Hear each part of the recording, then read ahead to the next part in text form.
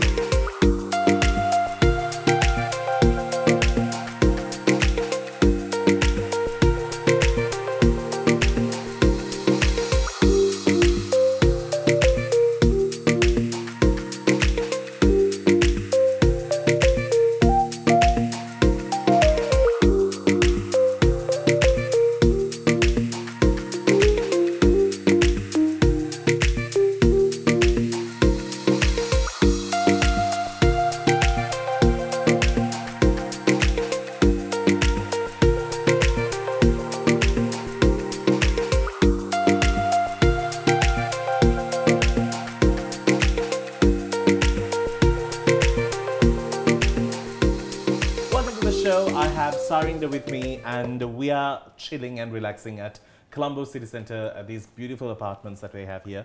Um, thank you for being here on the show. Pleasure. Nice to have you. Thank so you very much. these days we are all getting used to the new norm of work, working from home. Uh, Yeah. How is that treating you? Do you like the Loving whole... it. Really? Loving it. Always have. Oh, wow. I really enjoy The it. opposite, I just want to run somewhere.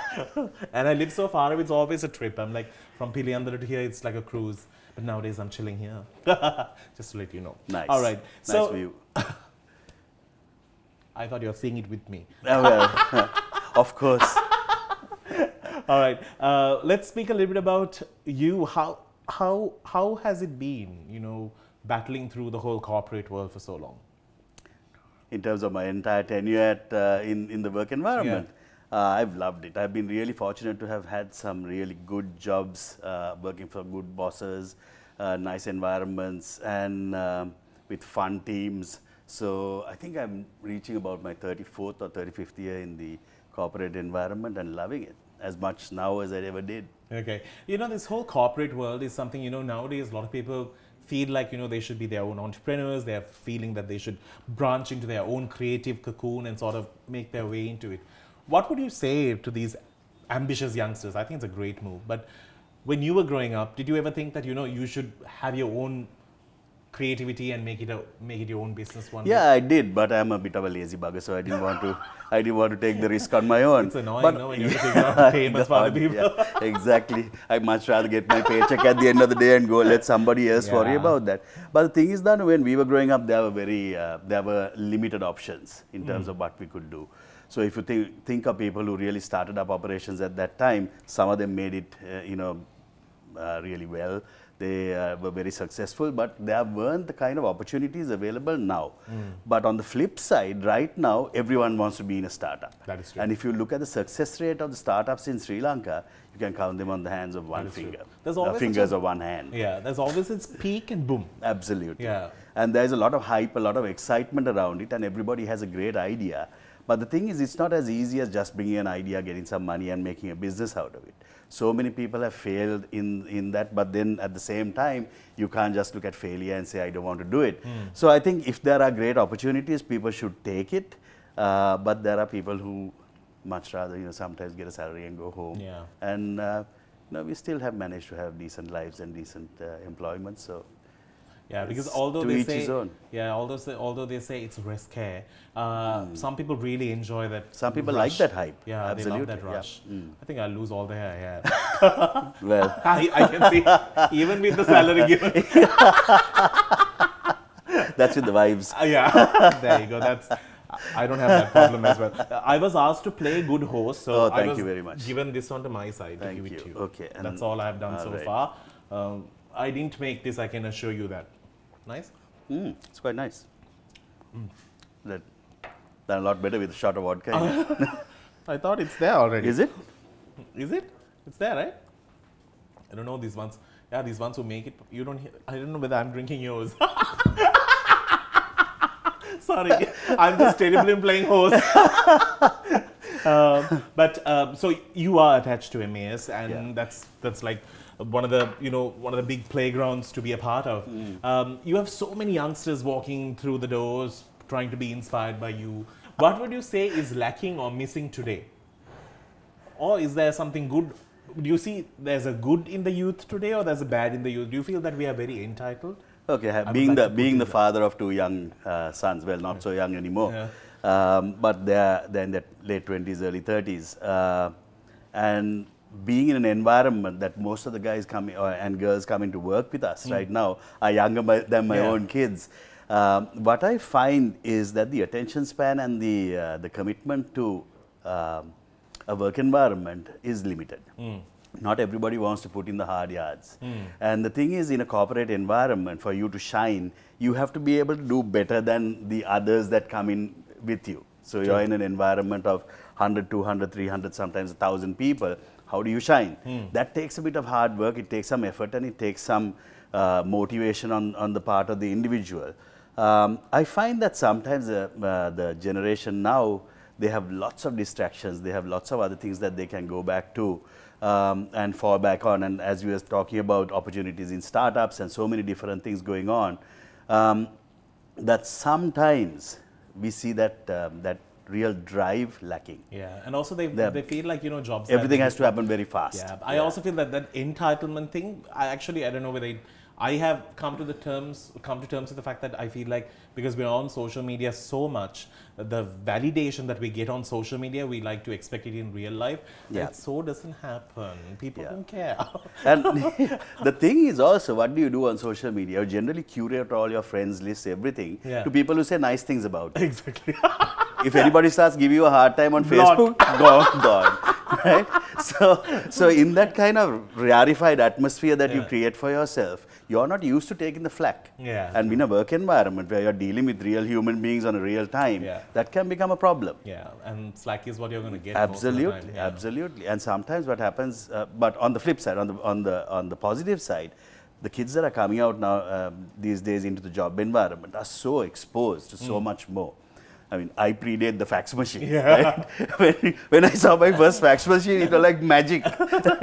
so going from that to a video call seated Yeah. on a you know on a bar stool somewhere True. is just like a complete change. And to be able to make that transition has been an amazing journey for me personally. But kids are coming nowadays loaded with so much information, with access to so much information, uh, and they're far smarter than we are. So um, I think if you can excite them, if you can give them a motivating story, uh, you can get some really good product out of out of people. That's good. And also, I always say it's always in the boss's hand a little bit to see where you actually get motivated or not. I think so. And Yeah. also there is where you have all the bosses, that can become a real stifling Yeah. factor. Like when the when they have not evolved. Absolutely. Yeah, Uh, I think it's a, a big part of the responsibility of the boss to stay relevant, Hmm. To be in touch with what's happening on social media, to be in touch with what's happening in the generation that's working for you. Exactly. So true. That's actually a point. We're going to get into a break. When we do come back on the other side, I'm going to speak about Home Sweet Home with him. And also, uh, he's very active on Facebook, loves uh, animals. uh, we're going to speak about all of these when we do come back. Do stick around. It's Danu on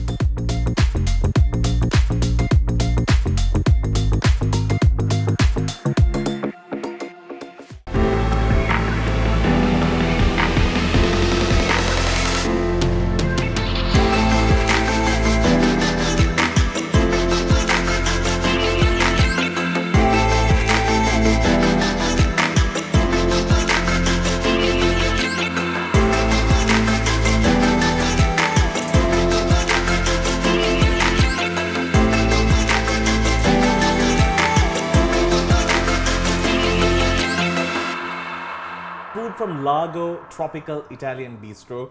Uh, it came all the way up here, so food will taste good. Uh, I hope you at least like the food. I'm sure I do.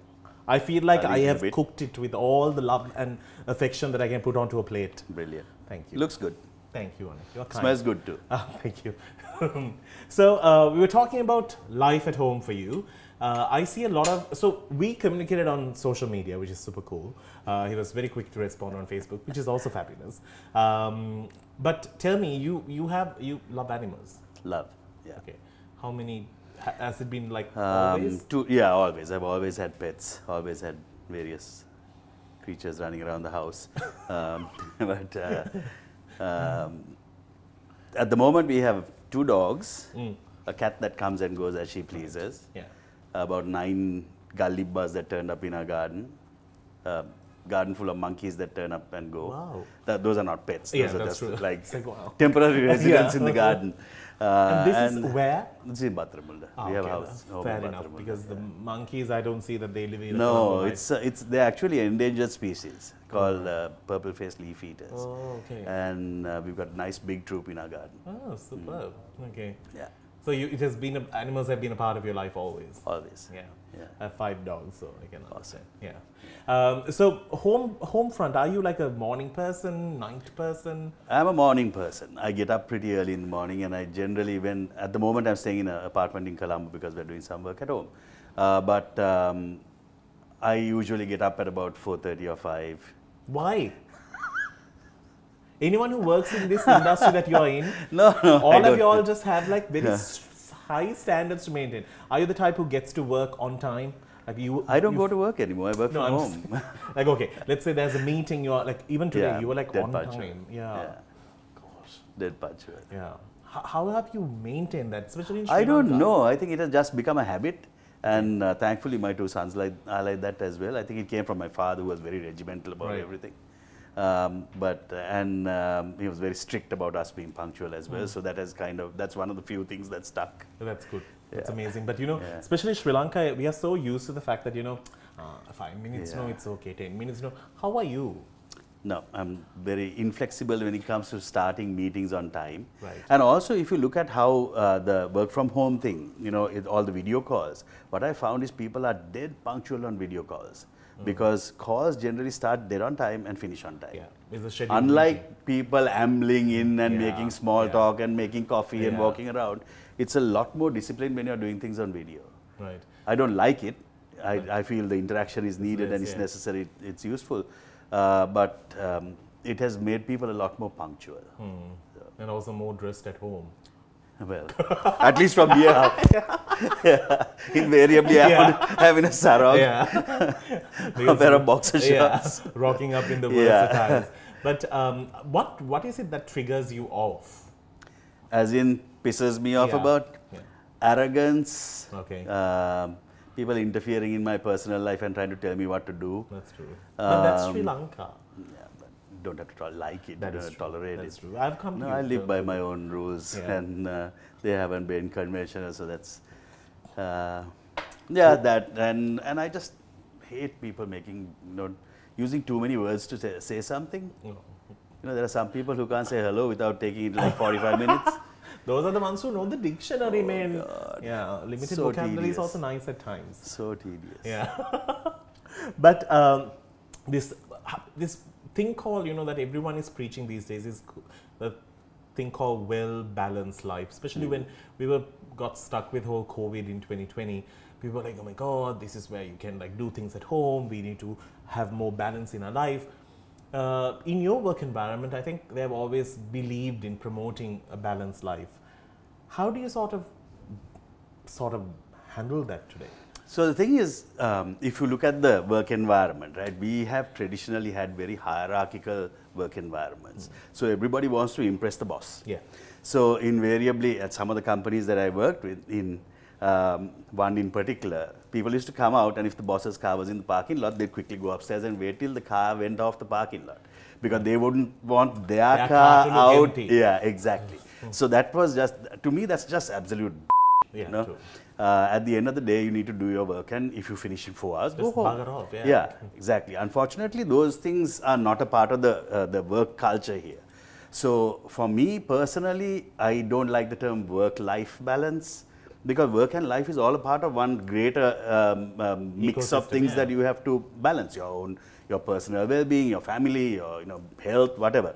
So I have always actually, maybe not in the first year or two that I uh, worked and worked like a mad dog trying to achieve things that Yeah. uh, were these impossible dreams, uh, but um, as I realized what you could lose in life when you focused on one thing only and not on the rest of your life, um, I started really paying a lot of attention to how I balanced my time at work and time with my family and myself, doing things that I enjoyed doing.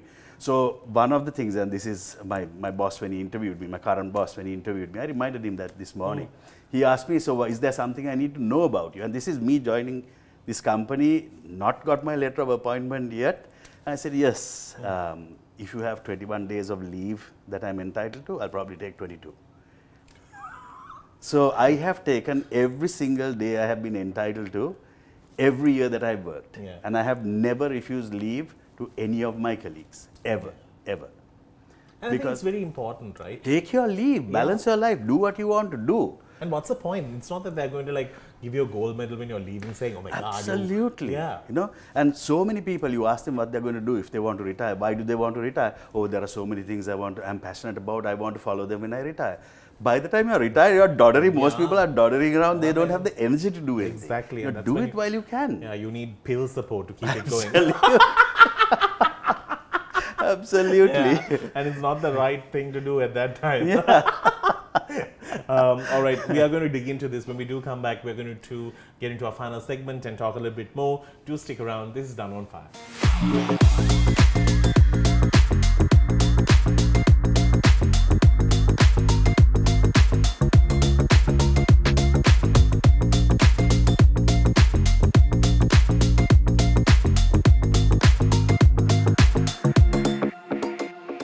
At the Colombo City Center residences. As you could see, the sun is setting, and I'm in conversation with Sarinda uh, about life, love, and everything in between. uh, wanted to speak about roaring uh, success. uh, yours has achieved a different part. Mine has achieved a very dry part. So, we are both qualified to, uh, to what has to go wrong. um, all right, so I wanted to speak to you a little bit about. Mm by the way, I've ordered dessert for you Brilliant. if it okay. ever comes up on time. George, can you get my dessert? I have a person, Of course. yeah, called George. George, he'll get it. Um, In the meantime, where was I? Um, yeah, uh, you are attached to uh, Kreeda, so Mm-hmm. and also the fact that you are into environment and giving back to environment. Where did it come from? Are, are you like Always been a part. Ah, yeah, okay. always been a part of my life. I've been traveling to the jungles from a very young age. Uh, always loved the outdoors. the whole camping kind of a person? Used to be. Oh, I've good, become a little more glamping now with age. better, right? Yeah, with age. Yeah. I if I still go and camp under a tree. wash. Yeah. wash was always done. I used to just go and sit in the river and the fish should do the job. Instant clean. Eh, okay. little little tip. uh, but um, uh, yeah, I still go and camp Right. occasionally, but uh, I prefer to get somebody else to Yeah. do all the hard work. Yeah. Um, but yes, used to camp a lot, To have traveled the length and breadth of this country, uh, seen some beautiful places. So environment has always been a big part of my life. Mm. And today, I think, don't you? I don't know whether you'll agree with me because you have kids who are young as well. Um, they are very conscious about the environment. If you do take more than my mom's generation, I think right now they are more aware of the fact that you know why should we use this bag or can we like get something where you can reuse. Actually, the new restaurants even they make sure because youngsters just go and put a post saying that mm. it's bloody plastic. Mm. So people are more worried about it. Do you feel the young is more aware of the Yeah, absolutely. I think also, say when we were growing up, it wasn't a big issue. Yeah. You know, there were 7 million people or something like that in Sri Lanka, and it wasn't a, uh, pollution wasn't a huge issue Wow, at that time. producing. Yeah, we've been very busy. yes, very busy. But now the uh, lockdown, we are done. I think lockdown people people are like enough. Take a break. yeah, Plus they were locked at home. yeah, that's it. Um, so, uh, so if, if you if you think about it, there's a lot more access to information. Hmm. So the impact to planet that all these things do people know about it a lot more. Yeah. That's a little bit. Ah, George, can you get the dessert, please? George got us a pizza. it's literally Nutella and pizza. Yeah, I think I'll You'll pass on. give that a miss. Fine. I'm watching my figure. I've watched my figure. Yeah, I can't see beyond a certain point. my, watch my figure expanding over the years. yeah, I think I'm just going to dig into it later when the camera's a bit off. Uh, so we're talking about um, environmental issues. Um, Sri Lanka has taken a huge stand in like reusing, recycling, even when it comes to like the apparel industry. Uh, how are you? Are you someone who says like you know no to many clothes? I try to, uh, but I've got a bit of a weakness for jeans and shoes and all kinds of things. So, uh, but I try, especially now in the last year and a half, I realize how much useless stuff I have Yeah, literally in my just staying at wardrobe. home. yeah. Yeah, absolutely. So I've started becoming very conscious about what the impact is every time you make a shirt, how much water gets used, how many chemicals get used, so that kind of stuff. Hmm. But also through the, uh, the, the fact that people have access to this information means that people realize that it doesn't have to be these grand, big scale environmental projects that can change the planet. It's what you and I do on a daily basis Correct. making choices that we make. You know, not to use plastics or single-use plastics, not to use uh, disposable clothing, whatever it may be. You know, use your clothes for a longer period of time, Yeah. recycle, upcycle, do all these funky Yeah. things that are happening right now. But they all have an impact to planet. Hmm. So I think if that consciousness goes into the heads Yeah. of 90% of the population, the impact in terms of how um, our waterways will get cleaner, our oceans will get cleaner, would be huge.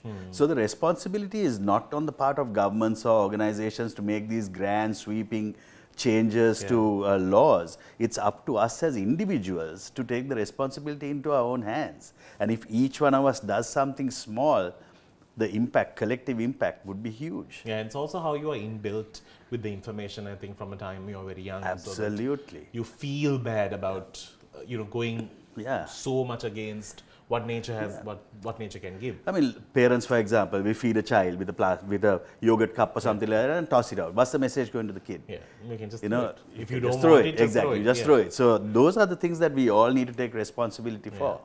yeah because back in the days you know canals were used to like just canals were used to just Yeah. throw garbage from like houses Wing. Still, Yeah, still to this day, know. you know, and we started doing some work on on trapping the garbage before it goes into the ocean. Yeah. And it's tons of stuff that get collected on a daily basis. It's ridiculous. and these are people who can just swing it from their house like Yeah. out of the backyard. Uh, yeah, And, and it happens and it's just mm. quite shocking um, but uh, it has been absolutely a pleasure having you uh, i'm so happy that you came on the show and Thank you. spoke so well and uh, thanks for sharing your insight Thank you Uh, when you're doing your trip next time somewhere um, some exotic place in Sri Lanka. I think more people are traveling in Sri. Yeah, Lanka now, which is a good thing. Yes. Yeah, we have Yeah. seen places that We- people would have yeah. Not, Not seen been before. to before. Yeah, Yeah, absolutely. Not, it's not always fun to fly out. Yeah. So, on that note, thank you so very much. Pleasure. Um, we will see you with another cool episode of Danu on Fire. Till then, you keep smiling, be safe, and uh, it's wrap.